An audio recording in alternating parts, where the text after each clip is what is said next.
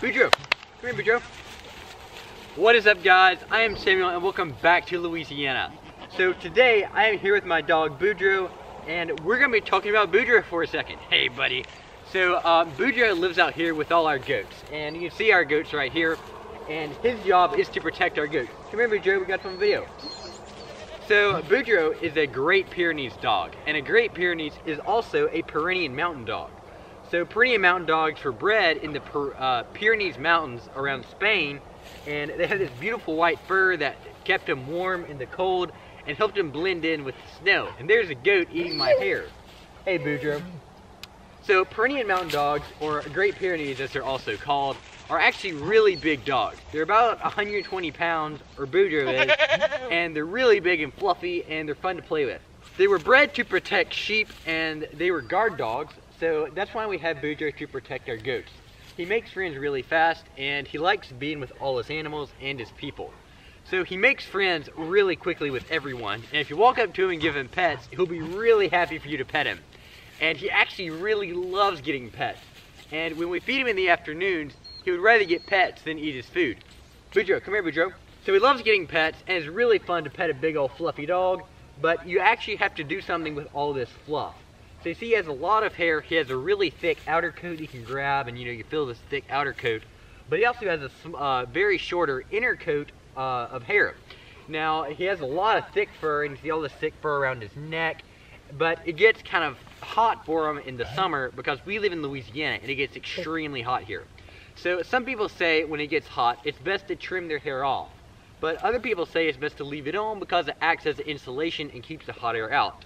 So that's what some people say. There's a little um, little debate on what's best to do with the Great Pyrenees fur when it gets hot in the summer. But you do leave it on in the winter for them so it can stay nice and warm even when it gets cold outside.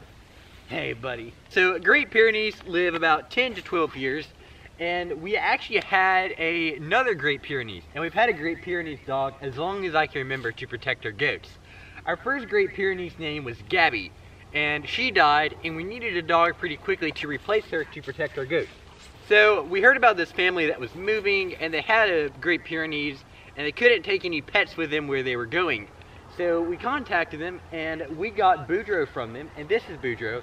He was full grown, he was about two years old when we got him and now he's about six. So we've had you for four years, buddy. Yeah, we have. So Boudreaux's job is protecting our goats, and he just makes friends with everyone instantly. His personality is almost identical to Gabby's, just because that's what Great Pyrenees are like. They're really fun and lovable dogs, and they love being around people, and he, they just love getting attention. And um, he, all Boudreaux wants right now is to be with me. He doesn't want me to film this video, but we're doing it anyways.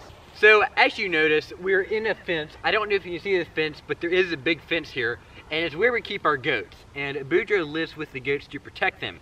So he fights off, you know, any wolves or coyotes, and he barks at them at night if he has to, to protect his goats. Now, Boudreaux has some really thick fur around his neck, and the fur around his neck is even thicker than all the rest of his fur. And the reason he has that is to protect him in case a wolf tries to bite his neck and kill him. He has all this thick fur around his neck to protect him. There's a goat! Ah! Guys, guys, a goat just knocked over my camera. No.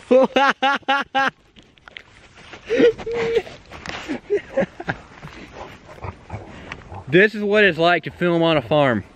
So in this fenced in area is where Boudreaux lives. And um, the deal is, one time he had a tree fall on the fence and knock it down, just in a little short section. And Boudreaux ran away. And we had to chase him down after a little while and find him. So the deal with the Great Pyrenees is they, they like to roam around. Um, they don't stay confined in one area. So if you're keeping a Great Pyrenees as a pet, you have to have them fenced in so they don't run away because that's what they will do.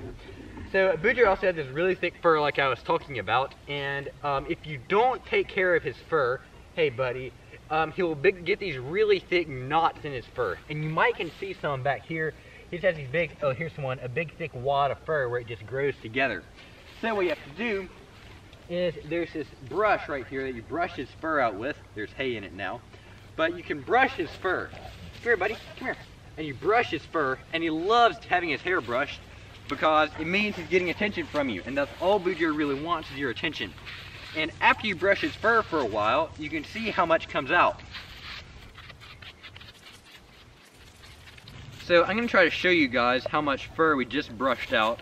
So all this fur right here is what I just brushed out of his fur. Yeah, Boudreaux, you have a lot of hair, don't you?